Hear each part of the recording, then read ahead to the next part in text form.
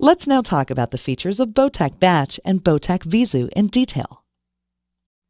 The physical and process image of the system, according to ISA 88, are stored in the system configuration.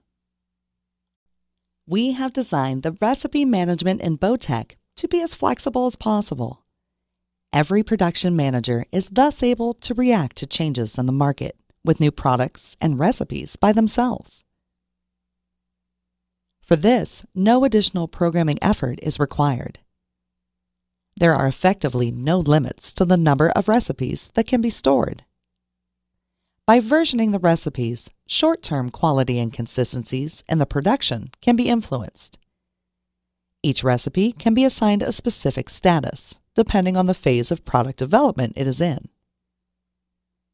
The master recipe contains the basic information on how a product is manufactured.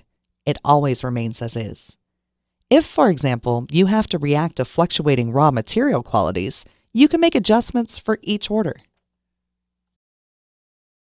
The orders in the order system are generated either by an ERP system or one can create individual orders, as well as carry out the planning of the entire production. Barcode scanner based validation systems are available for our process control system to ensure additional reliability in the production environment.